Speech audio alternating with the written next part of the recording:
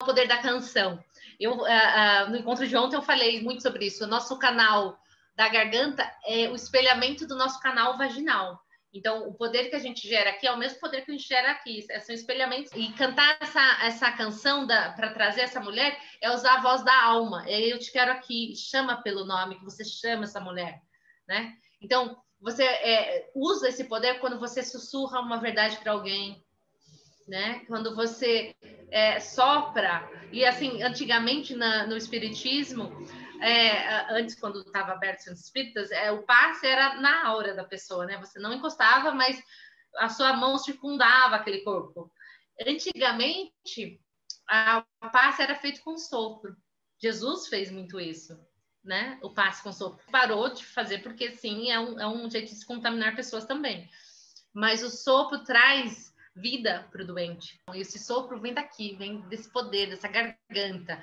Então, assim, quando eu crio alguma coisa com a minha fala, quando eu expresso, quando eu trago para o mundo, quando eu dou, dou vida né, pela palavra, é, é, é, um hino de criação. E quando eu coloco a minha expressão para fora, esse é um ato extremamente soli, solitário, solitário, não é solidário. É solidário quando traz solidariedade, é solitário aqui.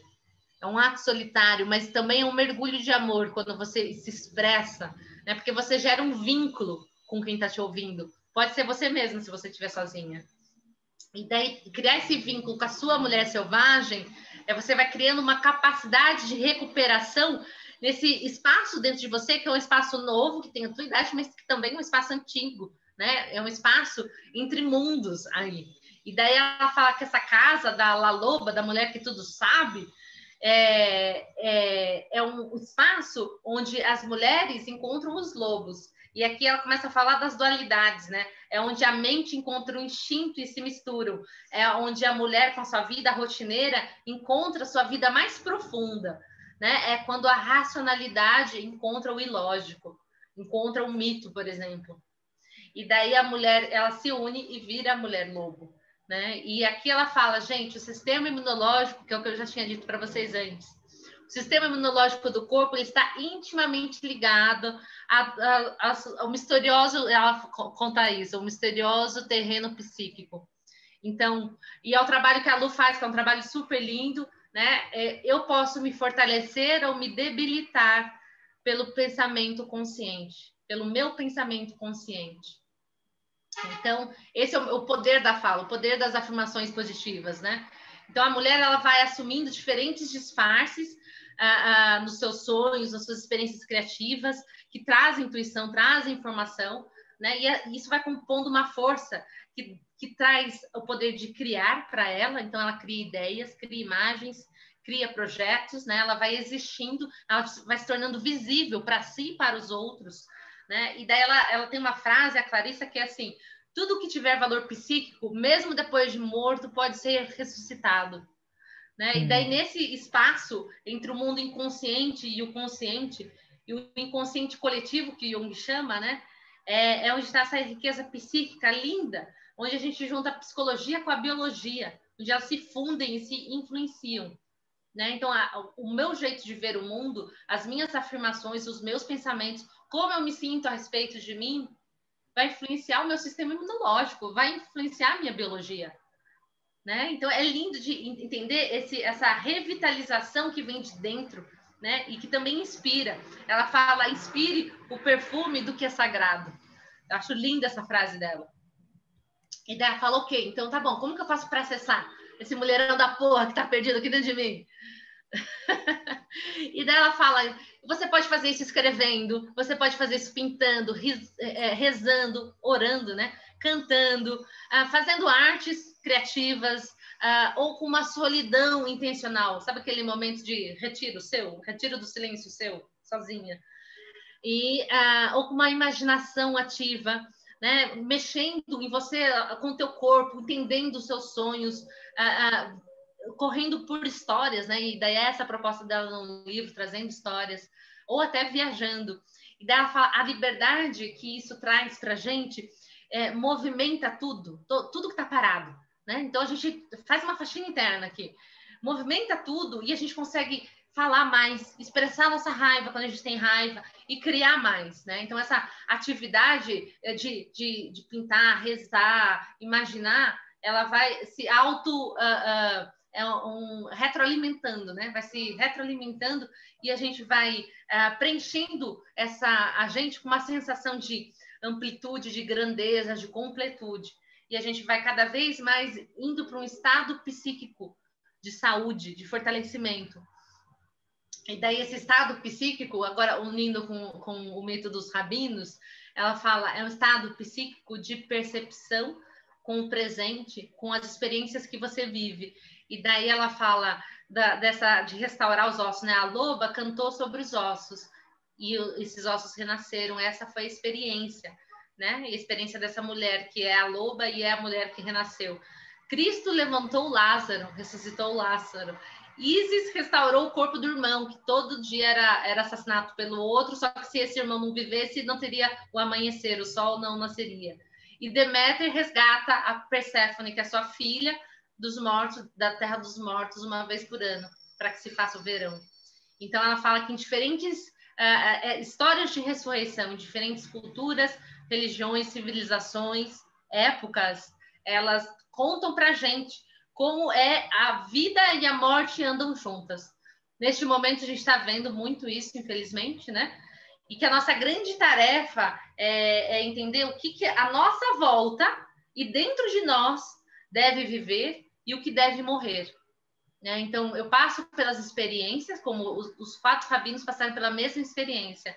Como eu vivo essa experiência? O que, que eu permito uh, deixar viver, vicejar, prosperar, florescer? O que eu alimento? Né? E daí tem aquela questão, né, também que agora eu lembrei aqui do, do o que eu alimento dentro de mim, né? O lobo mau ou o lobo bom, né? É o, é o que eu alimento dentro de mim que, que, que me torna eu. Então aqui é, nós somos mãe da vida e mãe da morte.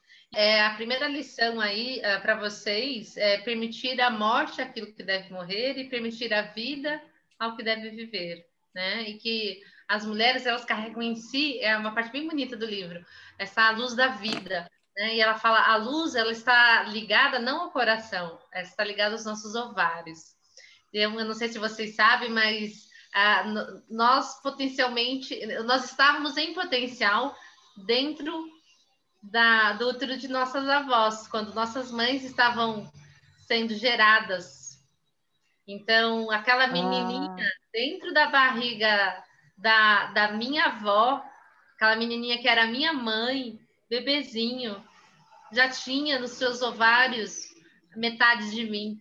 Tudo que a minha avó sentia, eu senti também, porque eu estava dentro da minha mãe. É pelo ovário que a gente consegue dar luz à vida. E daí ela fala: os ovários é, e os óvulos são sementes, né? Então, Pode acontecer um deserto onde tiver. Se eu tenho as sementes, eu tenho a fonte da vida. Né? Então, todas as sementes que eu armazeno em mim, e não só os óvulos, né? elas podem nascer. Né? Então, ter, ter semente é, significa ter acesso à vida. Né? E a vida de tudo, porque a, a, uma árvore nasce de uma semente.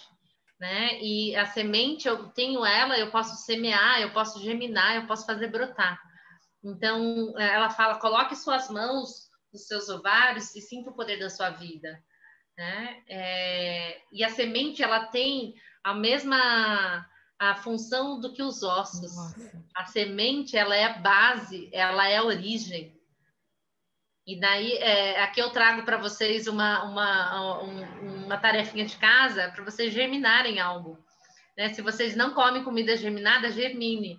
Eu adoro germinar lentilha, super fácil, 12 horas na água, depois 12 horas uh, uh, na peneira, só escoando, e, e, e, sai todo o narizinho dela para fora, assim, e, e, o poder da enzima, assim, quando a gente solta aquela água, solta toxinas de proteção da semente, que são as toxinas que nos dão gases. E quando a gente come a, a, o grão, a semente germinada, é a semente cheia de vida. Porque ele, ele fala, nossa, vou, vou virar vou virar uma árvore, vou colocar todo o meu potencial para fora. Então, daí ele, ele começa isso ao brotar, o brotinho. E daí a gente come, quando a gente come o, a semente germinada, a gente se nutre com muito mais vida. Aquele feijão não é só um feijãozinho. Que você tipo, tirou do saquinho, pôs na panela de pressão e fez uma, um feijão. Não.